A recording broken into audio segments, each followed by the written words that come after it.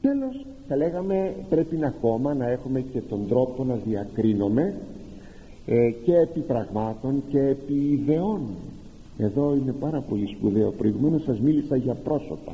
Εξάλλου το χωρίο για πρόσωπα ομιλεί αλλά το απλώνουμε στην ερμηνεία του ε, μόνο και μόνο γιατί κάποιες ιδέες κάποια πράγματα είναι της τρεχούσης μόδας και τρεχούσης προβολής Φερρυπίν τρέχουμε να επενέσουμε σύγχρονα πράγματα, χορούς, ε, μουσικές, ε, την τέχνη, τη σύγχρονη, άλλα πράγματα, φιλοσοφικές ιδέες, ε, κοινωνιστικές ιδέες, μόνο και μόνο για να μην φανούμε καθυστερημένοι.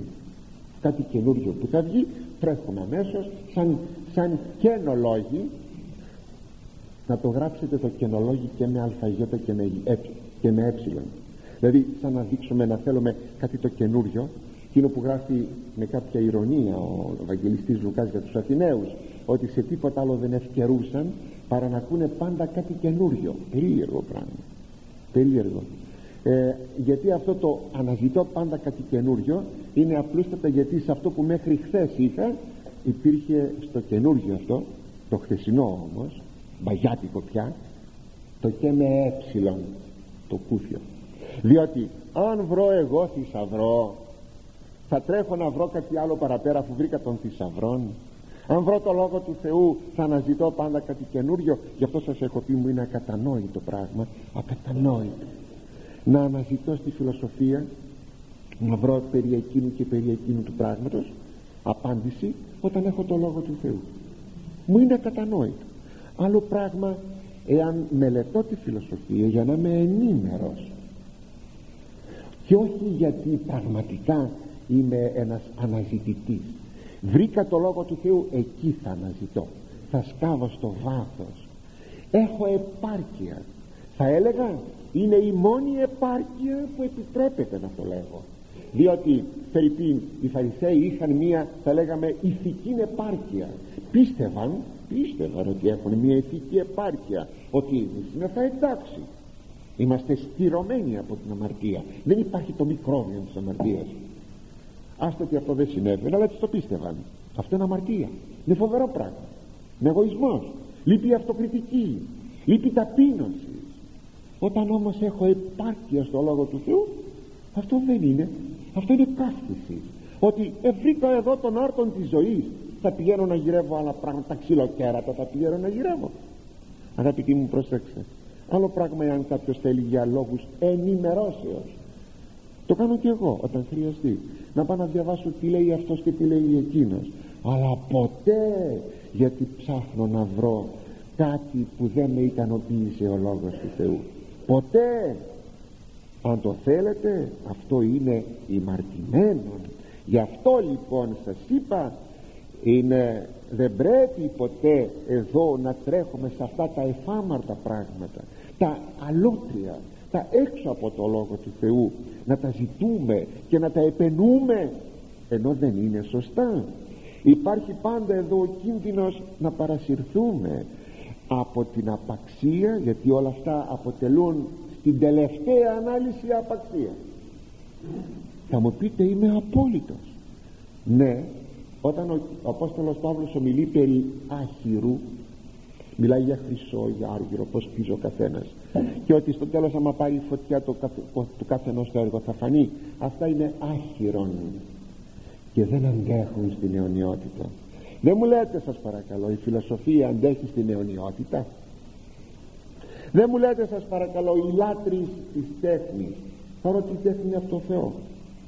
Και παρότι όλοι πρέπει να έχουμε, να έχουμε την αγάπη μας προς την τέχνη όχι τη λατρεία μας αντέχει στην αιωνιότητα πέστε μου όλες αυτές οι διαμάχες και οι αγώνες που γίνονται να ζήσουμε καλύτερα με το α ή β κοινωνικό σύστημα αυτά αντέχουν στην αιωνιότητα. Αυτά είναι όπως το άχυρο που θα καεί. Δεν αντέχουν. Γιατί λοιπόν για ποιο λόγο να μένουμε σε αυτά; Αυτά αποτελούν απαξία.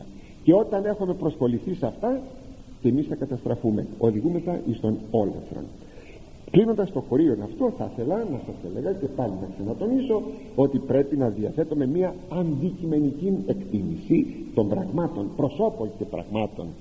Και το κριτήριο αυτής της αντικειμενικής θα λέγαμε εκτιμήσεως είναι πάντοτε ο αιώνιος λόγος του Θεού.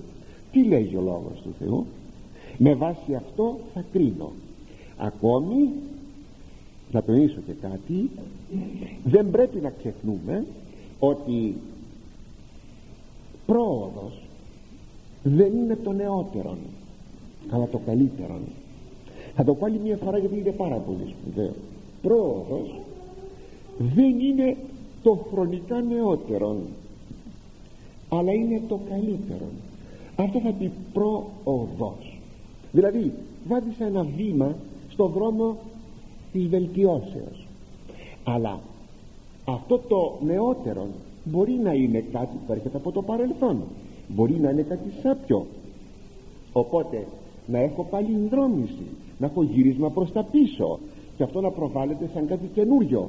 Γενικά ό,τι δεν θα με ωφελήσει ό,τι δεν θα με αναπτύξει ό,τι δεν θα με κάνει σωστών άρτιων άνθρωπων αυτό δεν είναι πρόοδος.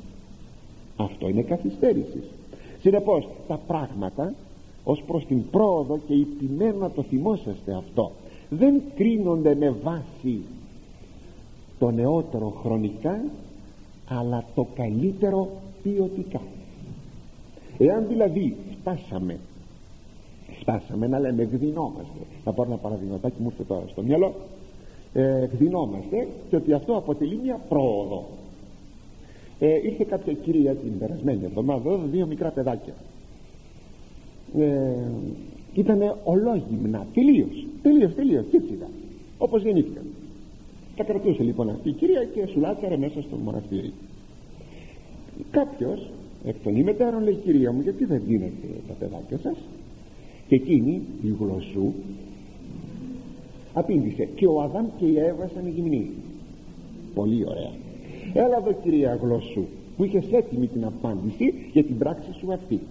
Σε ερωτώ ποιος έκανε γυμνούς τους πρωτοπλάστους θα απαντούσες ο Θεός. Και ξαναρωτώ. Και ποιος ένδυσε μετά την πτώση τους στους πρωτοπλάστους δεν απαντάς. Ο Θεός ο Θεός λοιπόν μας ένδυσε. Ο Θεός μας έκανε γυμνούς αλλά εφόσον χάσαμε την απλότητά μας και εφόσον έχουμε τη ροπή προς το κακόν εκείνος και μας ένδυσε.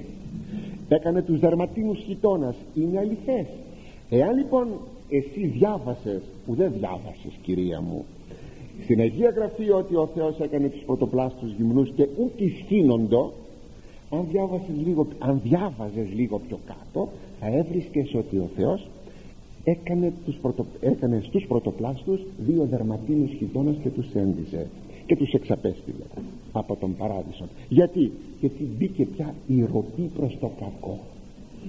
Βλέπετε τη μονομέρεια των πραγμάτων. Βλέπετε την αφθάδεια που έχουμε. Τα βλέπετε όλα αυτά. Και αυτό πως θα μπορούσαμε να το πούμε αν γδινόμαστε πρόοδο. Θέλετε κάτι αγαπητοί; Το έχετε σκεφτεί.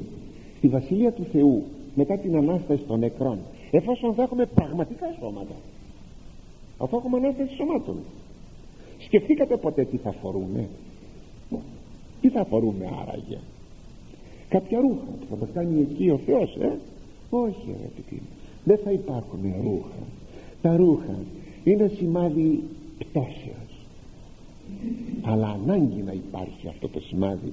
Τόσο για να μας θυμίζει την πτώση γι' αυτό δεν μπορούμε να στολιζόμαστε και να καθόμαστε όσο και για να καλυπτόμεθα. Αλλά στη Βασίλεια του Θεού δεν θα υπάρχουν, υπάρχουν ρούχα στην σωματική μας κατασκευή όπως ήσαν οι πρωτόπλαστοι στον παράδεισο. Αλλά το ένδυμά μας θα είναι εκείνο το πρώτο η Θεία Δόξα. Η Θεία Δόξα αλλά αν θα πάμε εκεί τότε δεν θα φοράμε ρούχα. Αυτό είναι πρόοδος. Τώρα εφόσον είμαι θα στην πτώση δεν είναι πρόοδος να γυρίσω εκεί με ατάφαρτη καρδία διότι έφτασα σε μια κατάσταση απαθίας δηλαδή να μην έχω πάθει για να μιλάω για μια γύμνωση ή τη γύμνωση την κάνω ακριβώς για να τρέφω παχυλά τα πάθη της αρκός βλέπετε πως έχουν τα πράγματα.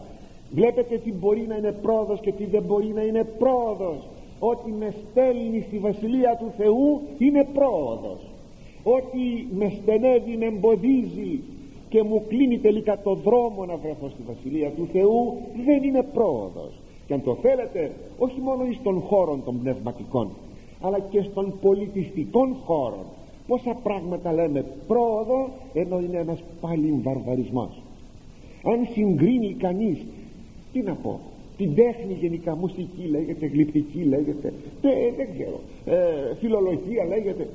Συγκρίνει με παλαιότερα πράγματα δείγματα τέχνης θα λέγε κάποιος αυτά είναι ένας παλιβαρβαρισμός θα απαντούσαν όμως εκείνοι οι λάτρεις αυτών των, αυτού του παλιβαρβαρισμού. Α όχι λέει αναζητούμε αναζητούμε νέες μορφές νέα σχήματα να αναζητάς αλλά να τα αναζητάς πάντοτε όχι σε μια κατάπταση αλλά να δείχνεις ότι αναζητάς θα είσαι όμως σε ένα σημείο αναφοράς που θα δίνεις μια, μια θα λέγαμε αίσθηση του ωραίου. Αυτό πια δεν είναι αίσθηση του ωραίου που προσφέρεις. Και αγαπητοί μου εγώ τουλάχιστον έτσι το καταλαβαίνω. Αν μου πείτε ότι το ωραίο είναι υποκειμενικό θα σας έλεγα είναι και αντικειμενικό. Δεν είναι μόνο υποκειμενικό ποιος δεν θα θαύμαζε τον Παρθενώνα; Ποιος δεν θα θαύμαζε την Αγία Σοφία Κωνσταντινού Πόλεως; Ποιος δεν θα θαύμαζε ένα ζωγραφικό πίνακα ένα έργο τέχνης σε όποια εποχή και να είναι. Ξέρετε η τέχνη περνάει, ξεπερνάει την εποχή της ξεπερνάει τους ανθρώπους και δεν χρειάζεται να γράφεις από κάτω με εξηγήσεις, ξέρεις ε, αυτό το που εικονίζεται εκεί ο σουρεαλιστικός πίνακας που πετάει ο Κύριος στο κεφάλι του και το μάτι του και τη μύτη του είναι ένα παράξενο πράγμα. Κάτι θέλει να εκφράσει η αφηρημένη τέχνη. Δεν ανάγκη να εξηγήσεις. εκείνος που έχει μέσα του την αίσθηση του ωραίου και υποκειμενικά και αντικειμενικά είναι πάντοτε το ωραίο χωρίς εξηγήσεις.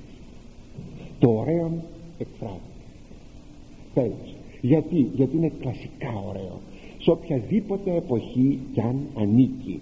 Τα λέγω για να μην νομίζω με όλα αυτά ότι τα νεότερα είναι οπωσδήποτε πάντοτε μία πρόοδος. Θα έλεγα λοιπόν κλείνοντας ότι το νεότερο και στον πολιτιστικό τομέα και στον τρόπο που ζούμε και μες στο σπίτι μας είναι το καλύτερο. Αυτό είναι πρόοδος. Το καλύτερο.